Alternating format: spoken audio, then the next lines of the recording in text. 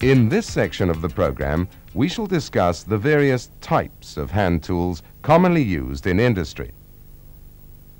Perhaps the most well-known and most used type of tool is the spanner. Spanners are used to loosen or tighten nuts and bolts on a vast variety of machinery and equipment. There are numerous types of spanners available. All have been designed to assist you to do the job easily and efficiently.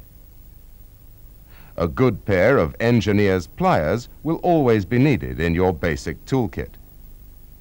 Pliers are part of a group of hand tools known as gripping tools, which include such other tools as pipe wrenches, water pump pliers, nippers, and lock grips. Many workshop operations involve the cutting or shaping of metals. Cutting tools, therefore, will be part of your basic hand tool kit.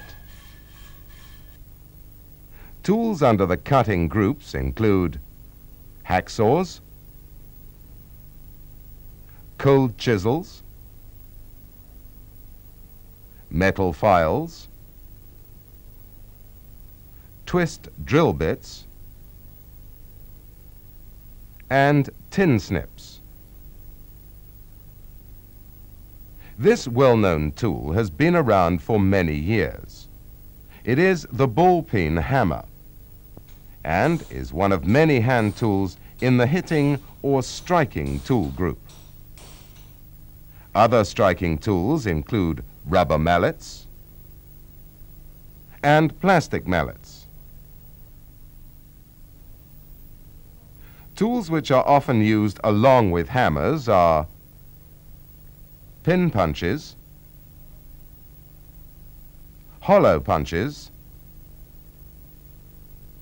and center punches. No toolkit would be complete without a good set of screwdrivers. Many other tools and measuring equipment will be necessary as you progress in your chosen trade. Other tools will be introduced to you as you begin to work on specific tasks within your particular trade. The tools mentioned up to this point are generally considered to be the least you will require for all electrical and metalworking trades. During the pause, take time to examine your tools and get to know their names. After this, you will learn about safety with tools.